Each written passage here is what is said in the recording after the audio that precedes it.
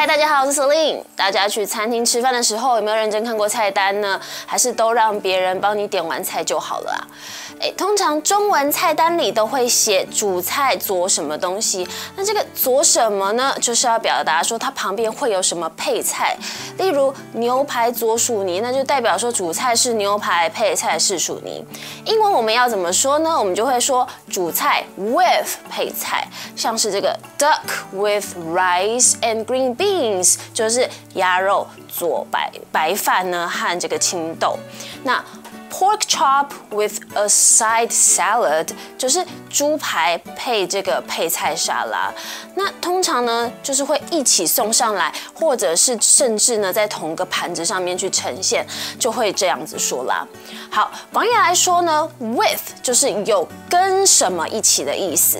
最简单的，就像是我跟我的朋友在一起 ，I am with my friend。I am with my friend，或者是说，哎，我总是把这件裙子跟这件上衣搭在一起，那我就可以说，I always wear this skirt with this top。I always wear this skirt with this top。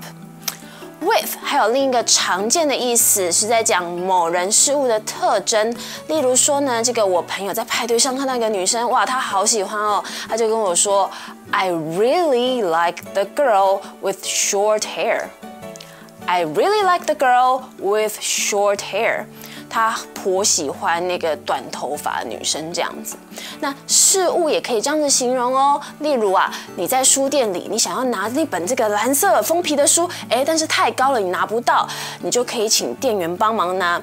这时候呢，就可以跟他说，Could you hand me the book with blue cover? Could you hand me the book with blue cover? 你可以帮我拿那本蓝色封皮的书吗？今天呢，你就学到了 with 的两种常见意思啦。那现在我就要考考你喽。我想要牛排佐薯条，英文该怎么说呢？别走开，答案即将揭晓哦。The answer is I'd like steak with French fries。你答对了吗？